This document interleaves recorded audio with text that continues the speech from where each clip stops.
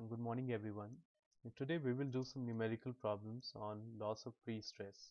So the first question is a pre-tension concrete beam 100 mm wide and 300 mm deep is pre-stressed by straight wires carrying an initial force of 150 kN at an eccentricity of 50 mm. The modulus of elasticity of steel and concrete are 210 kN per meter square and 35 kN per meter square respectively estimate the percentage loss of stress in steel and due to elastic deformation of concrete if the area of steel wires is 188 mm square.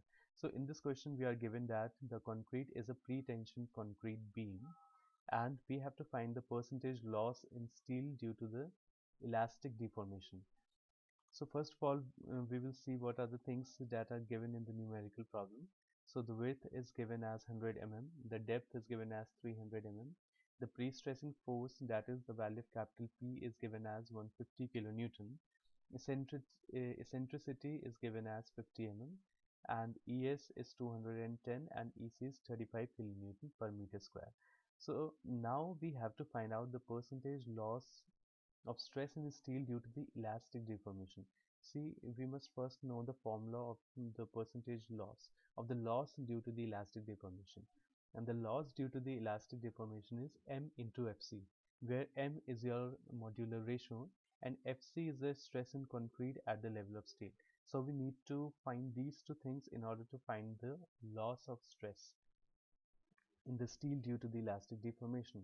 So the modular ratio we know that small m is equal to the modulus of elasticity of steel divided by modulus of elasticity of concrete that is es upon ec so ju just put the values. We will get the value of the modular ratio as 6 so uh, so this will be the value of the modular ratio. So now we will find out the value of fc that is the stress in concrete at the level of steel.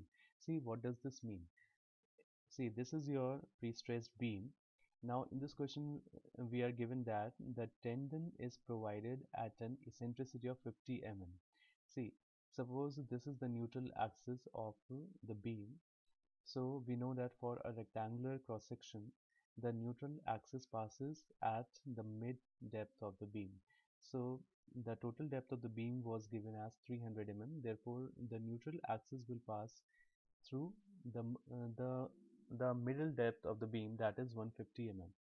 Now from this middle depth that is from this neutral axis the tendon is at a distance of 50 mm below the neutral axis. So now we have to find out the value of stress at this level. See, now we know that whenever a pre-stress is applied on a member, two types of stresses are produced due to the pre-stress. So one is your direct pre-stress and the other is your bending stress. And see, we know that the direct bending, uh, the direct stress is P upon A and its variation is uniform throughout the section. That is whatever is the value of the direct stress at the topmost fiber, the same value will be throughout the depth of the section. So the direct stress is P upon A and the bending stress we know that whenever a tendon is provided below the neutral axis there is hogging at the top therefore the be uh, the bending stress will be uh, which will be produced due to the eccentric tendon will be negative at the top uh, above the neutral axis and positive below the neutral axis. So now see now we have to find out the value of the bending stress at the level of steel. See if you can see this diagram this is the level of steel. So at this level we have to find out the value of the stresses. So see if you see the direct stress in diagram the value of the direct stress at this level is same that is P upon A so direct stress need not to be found out because its uh, variation is uniform throughout the section. But if we see this diagram bending stress, now we have to find out the value of this stress that is the value of stress at the level of steel. Uh, this is the level of steel so now we have to find out the bending stress at this level.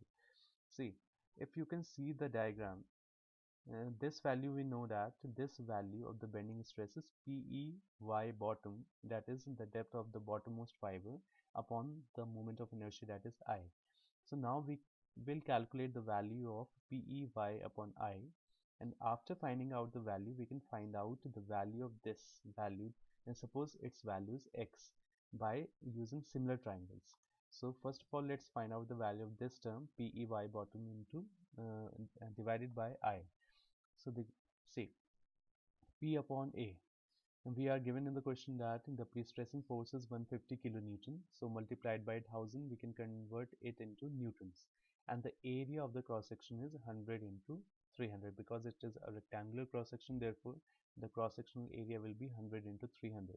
Therefore, this term will give you 5 Newton per mm square. Therefore, the value of the direct stress at the level of the tendon will be 5 Newton per mm square. Now, let's find out the value of this term PEY bottom upon I. So, just put the values of P. See, the value of P is 115 to 10 to the power 3. The value of eccentricity is 50 mm. Y bottom means the, the distance of the bottommost fiber from the neutral axis and it is 150 mm. So this will be 150. The value of I is BD cube by 12 for a rectangular section. So B is 100, D is 300, whole cube this divided by 12. So this will give you 5 Newton per mm square. So this value has come out to be 5 Newton per mm square. Now we can use a similar triangle. See, if you see this diagram, there are two triangles. One is this large triangle and another is this smaller one triangle. So we can use similar triangle properties in these, in these two triangles.